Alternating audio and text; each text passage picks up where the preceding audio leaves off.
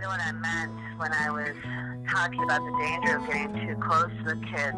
But this is not something you can blame yourself for. What you did means something to them. They might not get it now, but they will. I promise that they will.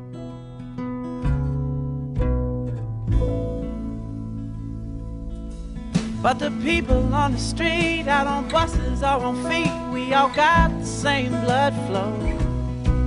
Oh, in society, every dollar got a D. We all need a place where we can go and feel over the rainbow. But sometimes we forget what we got, who we are are who we are now. I think we gotta change.